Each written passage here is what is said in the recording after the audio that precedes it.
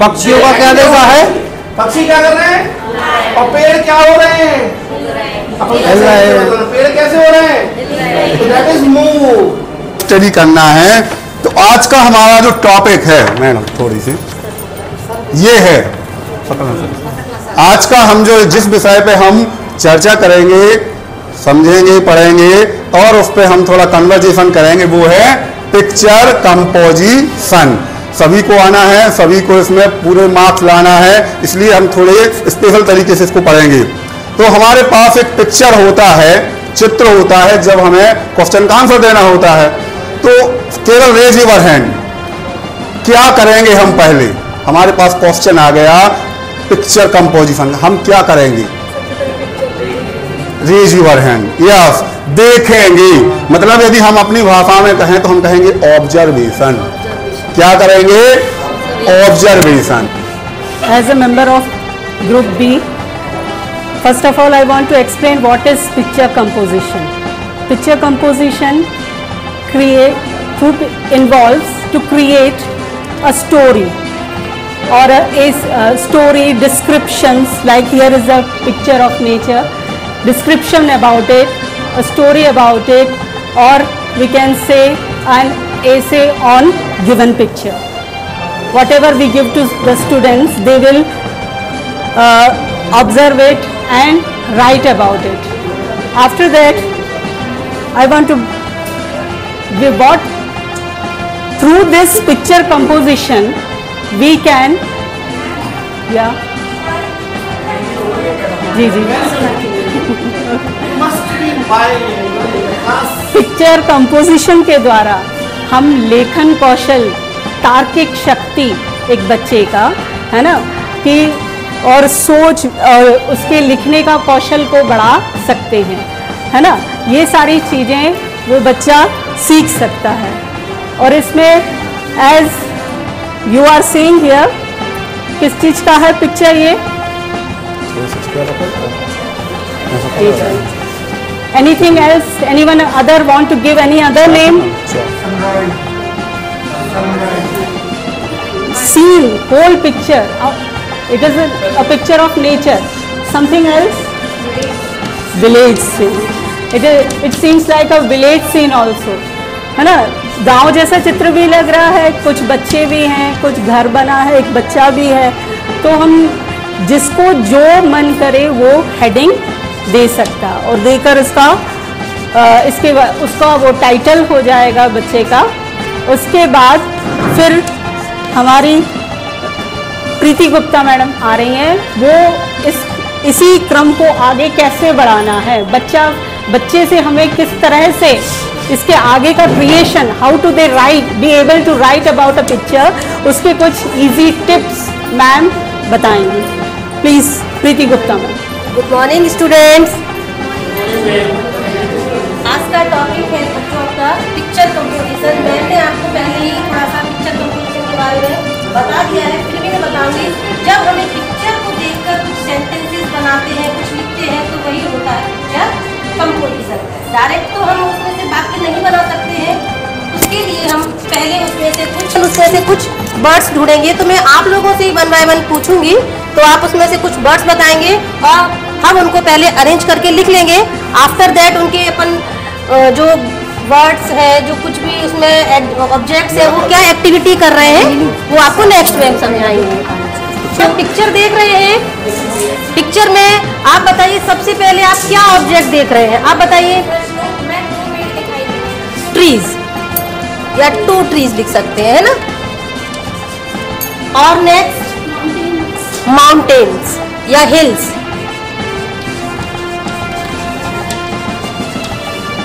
Next sir आप बताइए। Words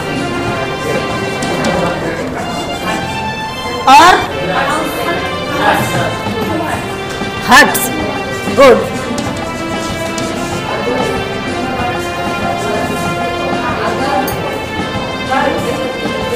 girl sun very good next stones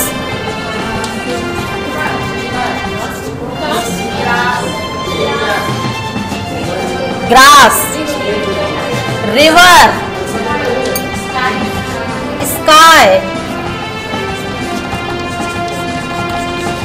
कितने एनफ है। आप लोगों ने देखा इसमें से आपने कितने ऑब्जेक्ट्स निकाल लिए? टेन यदि हम हर ऑब्जेक्ट से एक एक सेंटेंस बनाएँगे तो कितने सेंटेंस हो जाएँगे अपने पास? टेन और अपना पिक्चर कंपोजिशन इजीली आसानी से बहुत अच्छा बन जाएगा। अब इसके बाद ये जो ऑब्जेक्ट्स है, ये क्या एक्टिविटी कर रहे हैं? इनमें से कुछ कुछ ऑब्जेक्ट्स एक्टिविटीज़ भी कर रहे हैं, वो आपको नेक्स्ट में समझाएँगे साक्षी में। Thank you good afternoon everyone जैसे मैम ने आपको बहुत अच्छे से बताया कि इस पिक्चर में क्या क्या ऑब्जेक्ट है ना? ये ऑब्जेक्ट मैडम के बताने के बाद पता चला या आप लोग शुरू से इसको देख रहे या जानते थे? जानते थे ना? तो ये चीज़ आपको पता होगी कि जो हम देखते हैं, जो विजुअलाइज करते हैं, वो ज़्यादा स्ट्रॉन्ग होता है हमारी मेमोरी में और जो हम सुनते हैं, उसको हम भूल भी जाते हैं। सही है ना? तो जो चीज़ हमने ये देखी है, ये नेचर ने हमें दिया हम बर्थ से लेके डेथ तक नेचर से ही जुड़े रहते हैं। तो हम, चाहे वो बच्चा छोटा हो या बड़ा हो, पाँच साल का हो या पंद्रह साल का नेचर एवरीवेयर है ना? हर कहीं है।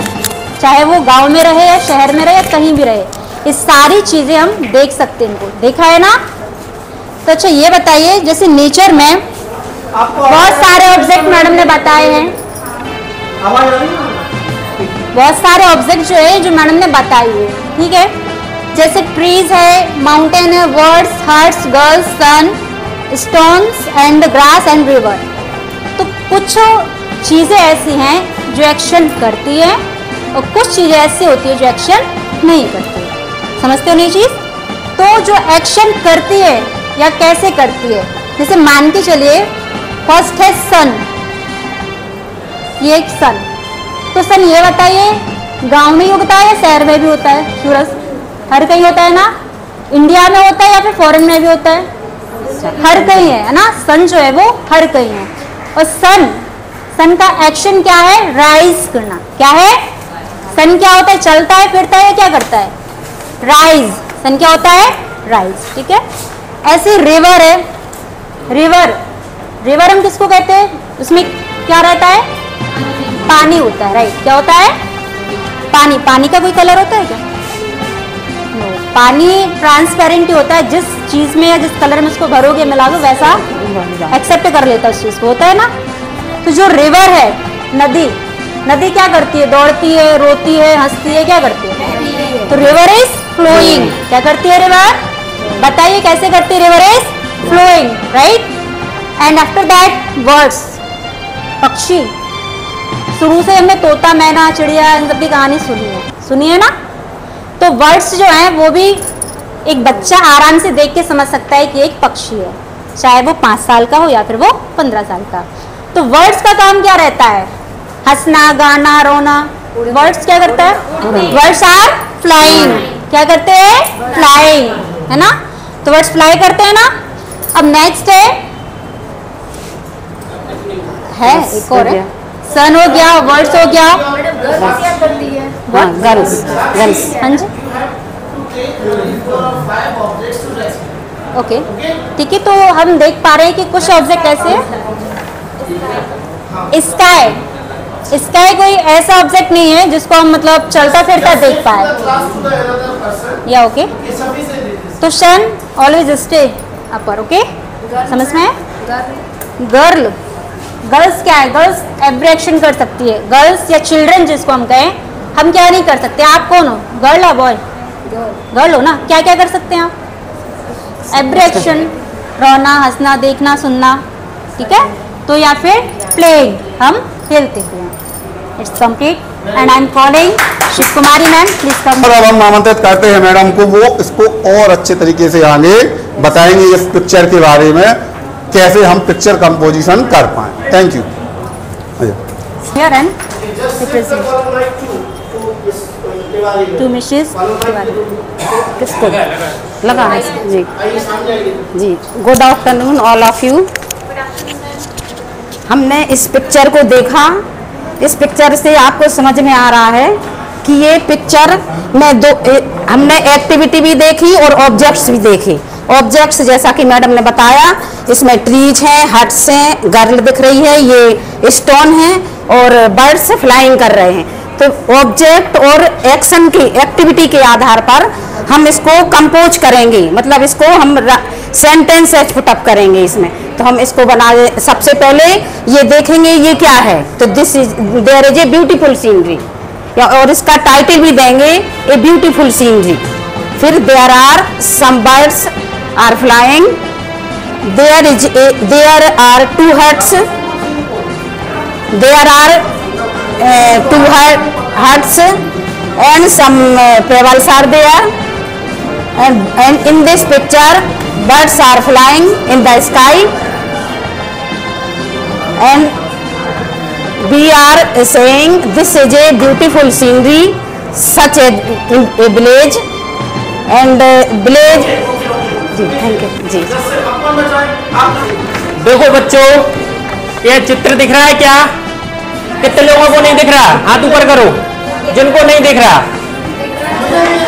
हाथ ऊपर कर सकते हैं आप तो अब ये जो शब्द अभी लिखे हुए हैं, ये उन बच्चों के लिए है जो एवरेज से ऊपर होते हैं, जिनको इंग्लिश आती है, जो मीनिंग समझते हैं वर्ब या जो भी समझना है, लेकिन हमें ऐसे बच्चों को पढ़ाना है, जो कि सही तरह से हिंदी भी नहीं पढ़ पाते।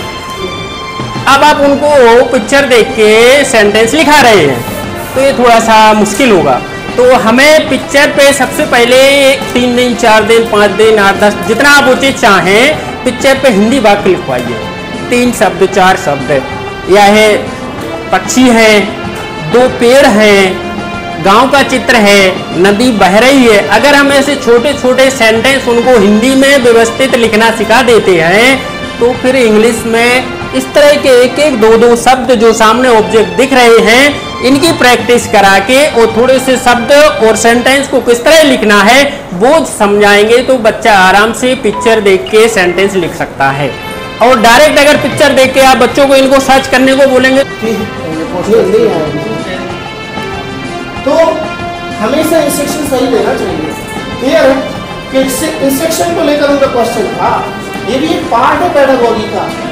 कि कैसे इंस्ट्रक्शन इम्पार्ट करने चाहिए क्लास में? फाइव डे पहले सब काम चलाना पड़ेगा। सामने देखिए देखिए सभी बच्चे।